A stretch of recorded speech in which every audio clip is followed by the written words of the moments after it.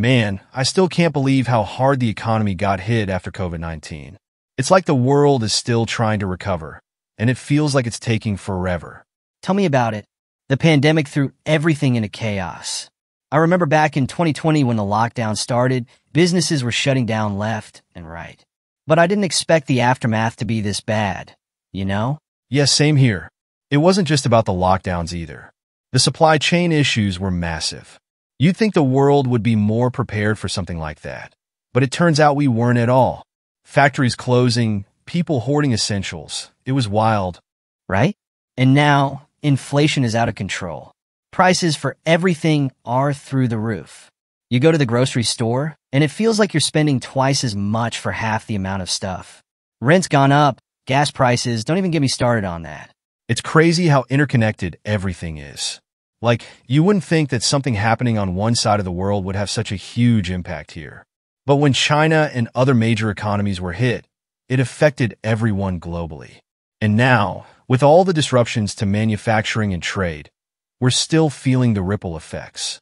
Exactly. Plus, a lot of companies shifted to remote work, which in theory sounds great, but I feel like it's reshaped the entire job market. I know people who still can't find work because certain industries just never fully bounce back. Hospitality, tourism, even some areas of retail, they're all struggling. Yeah, it's been rough. And the labor market has gotten weird too. On one hand, businesses are saying they can't find enough workers, but on the other hand, people are still out of work.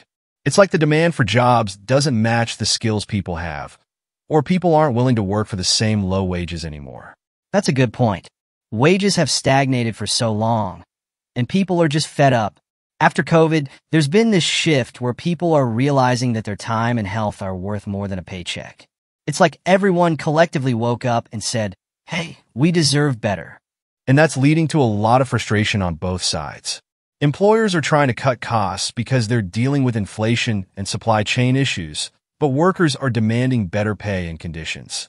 It's like a never-ending tug of war. Don't even get me started on small businesses. They got hit the hardest. I know a couple of people who had to close up shop because they just couldn't keep up with the costs. And with all the government aid drying up, it's even harder for them to stay afloat now.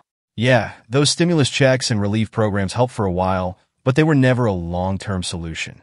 Now, with the government trying to balance recovery with controlling inflation, it feels like they're stuck between a rock and a hard place. And we're all paying for it. The cost of living keeps going up, but wages haven't caught up, and people's savings are running out. It's like we're still living in the shadow of the pandemic, even though it's technically over. It's tough. I just hope we can find some kind of stability soon. The world's changed a lot since COVID, and it's hard to say if we'll ever go back to how things were before. Feels like we're living in a whole new era now. Yeah, man. It's a different world, and we just have to adapt. But hopefully, We'll come out stronger on the other side. It's going to take time, but maybe this crisis is what we needed to rethink how we do things. Stagnation. Definition. A period of little or no growth in economic activity. Example.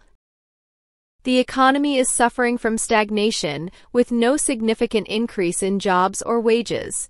Far is it time to ask if the politics and programs of yesterday's liberation have become the stagnation of today? Wages. Definition. The payment that workers receive in exchange for their labor, usually on an hourly, daily, or weekly basis. Example. Many workers are demanding higher wages to cope with the rising cost of living all of whom have declared solidarity with film crews picketing for higher wages in walkouts that quickly turned violent. Recovery. Definition.